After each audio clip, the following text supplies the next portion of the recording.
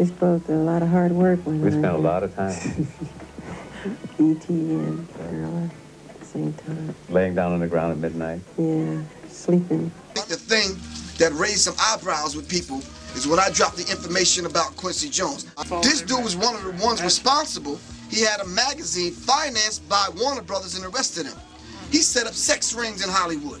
They were recording a new song called Billie Jean, and Michael Jackson had decided to fill every gap with his trademark whoops, clicks, and squeaks.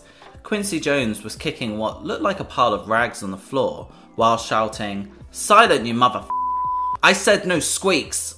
But is it really appropriate for a 44 year old man to share a bedroom with a child who is not related to him at all? That's a beautiful thing.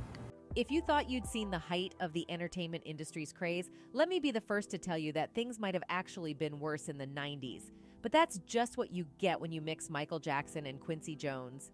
According to reports, the legendary pair were more than just fellow creatives. Oh no, seems they might have gotten down a lot outside of the studios. And while they were able to create magic out of thin air in the form of timeless records, reports have it that they were also involved with each other.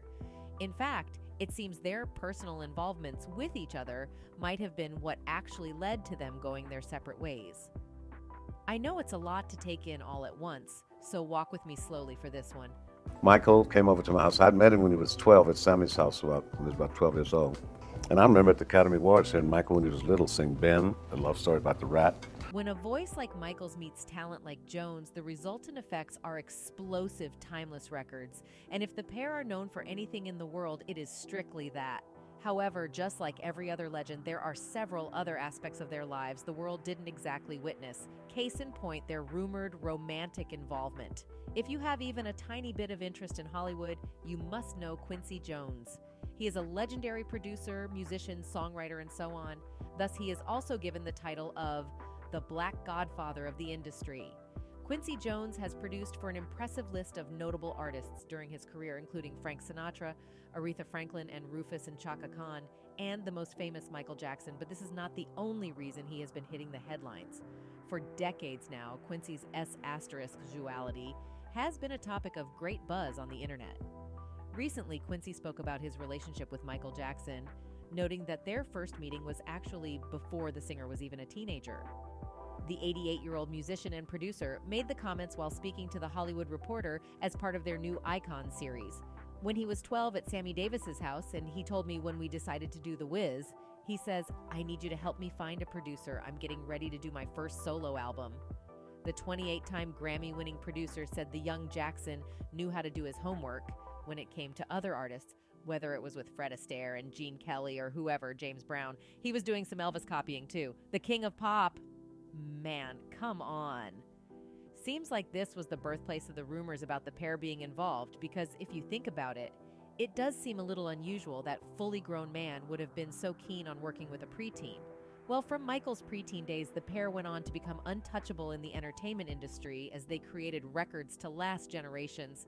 Jones produced three of the most successful albums by the pop star Michael Jackson Off the Wall, 1979, Thriller, 1982, and Bad, 1987.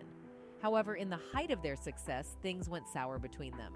To some, the fallout was a result of their relationship not working out, while others strongly believe that it was purely about the music. While Quincy himself did come out to say Michael stole from him and that he was cheated out of his royalties, I think the main reason for their split is their failed relationship.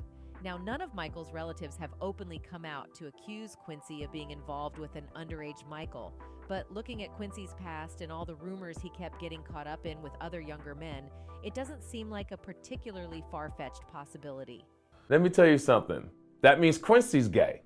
Quincy might be on. You see, it has always been speculated that Quincy Jones forced men into gay relationships in exchange of making them famous and big in Hollywood.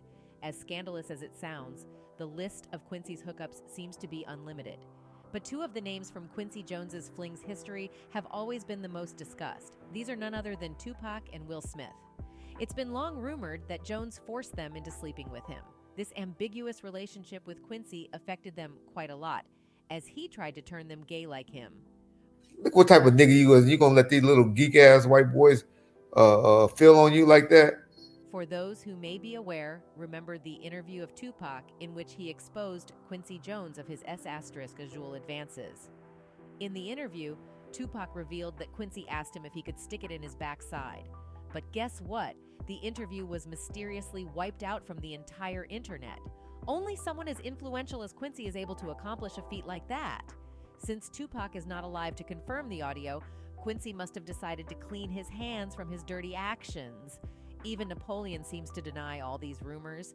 In an interview, when Napoleon was confronted with the alleged relationship between Tupac and Quincy, he denied everything on spot and started defending Jones. Yeah, I think these definitely them rumors about Quincy Jones and all that crazy stuff about Pac was definitely rumors. Pac was about to marry his daughter.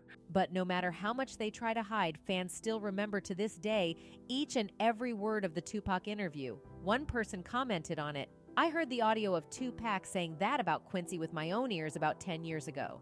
Quincy is or was the key holder to the black music industry. Anyone at the top level had gotten there by partaking in his parties. Dre. But this is not the first time Tupac expressed his frustration on Quincy about his nasty actions. Back in the day, in an interview, Tupac lashed out on a lot of associates and made some daring remarks about them. Shot five times in jail for a crime I didn't commit, while every other black person, I mean, whoever they was fucking babies. So was he referring to Quincy Jones for making people submit to his fetishes? It might be true since Tupac and Quincy got quite close during his career. Maybe Quincy took that as an opportunity and decided to make his move on Tupac. They were close to the point that before his death, Tupac was even considering leaving his signed label Death Row Records to join Quincy's label. It was Keyshia Cole who revealed a true story from the night of Tupac's unfortunate death in an episode of Fat Joe's Instagram series. Prior to his tragic murder in 1996, Tupac had planned to quit Death Row Records and sign with Quincy Jones's company, according to Keyshia Cole. On a recent edition of Fat Joe's ongoing Instagram Live series, Cole revealed that MC Hammer first introduced her to Death Row. This is where she met Tupac and Suge Knight, the label's co founders. On the day he died, Tupac announced that he was leaving Death Row for Quincy Jones's label and invited Cole to join him. And um, he wanted to sign me to Quincy when he was with Kidada, Quincy Jones' daughter. And um, he was he was gonna leave Death Row and go to sign with um, Quincy. Unfortunately, Pac got shot that day in Las Vegas. But even if Pac is not here to reveal Quincy's involvement with their sexual experiences, Will Smith does confirm it true through his actions. Rumors have always been circulating like wildfire on the internet that Will Smith is now the gay gatekeeper of the industry after Diddy and Quincy. Now, since Quincy comes from a different generation, he must have had a hand in teaching Will and Tupac his gay ways. The now 80 year old star exposed many secrets of celebrities and artists in an interview with Vulture magazine. While the interview started off with some not so good remarks about Michael Jackson and Beatles, he then revealed that James Baldwin, Richard Pryor, and Marvin Gaye are queer. To which he said, he was the most charming mother foo asterisk asterisker you ever met. He'd foo asterisk K anything, anything. He'd foo asterisk K a mailbox. James Baldwin, Richard Pryor, Marvin Gaye. To these comments by Quincy, a YouTuber responded that Quincy himself is bisexual. He felt outraged by Quincy's remarks because it was not his place to reveal someone's sexuality. He asked this question to Quincy whether he is bisexual or not. Quincy Jones, if you always tell the truth, well, tell me this. Are you bisexual?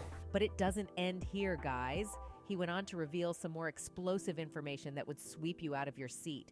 He claimed that he has a very attractive friend who has had multiple relations in Hollywood, and one of them being none other than Quincy Jones.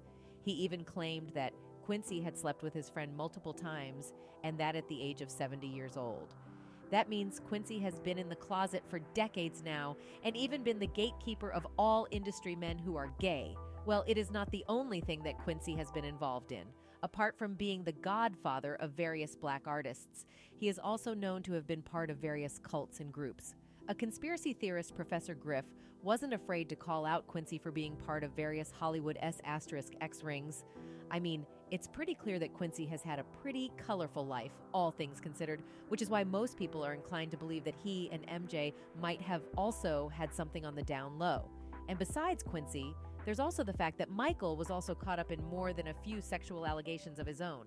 Well, suffice it to say, a lot of fans have been pondering this for a while now, And as you'd expect, they haven't been subtle with their thoughts on it. One user wrote, Tupac said Quincy Jones tried to have sex W slash him. I wonder did Quincy Jones and Michael Jackson had sex? Jones is a fruit. Maybe we'll find out the truth or maybe we won't. Only time will tell. That's it for today, folks. Goodbye.